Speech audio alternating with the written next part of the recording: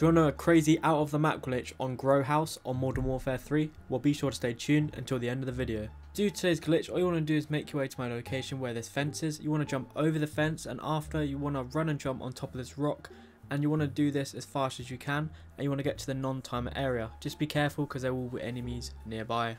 To do the extension, you want to run and jump on top of this rock and get to the non-timer area. This can be quite tricky to do, but just practice it. After you want to run as fast as you can, and as you see, there will still be no timer. But yeah, if you continue following the rocks on the side of the map, as you see, there's still no timer at all.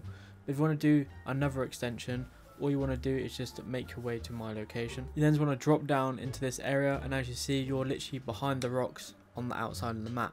And no one can literally see you in here you're pretty much behind the barrier. And there's also a random goat inside of the truck, which is pretty cool. But yeah, that is it for today's video, guys. I hope you enjoyed the video, and also make sure you like and subscribe because we're very close to 6,000 subscribers, and I appreciate all the support. See you in the next one. Peace out.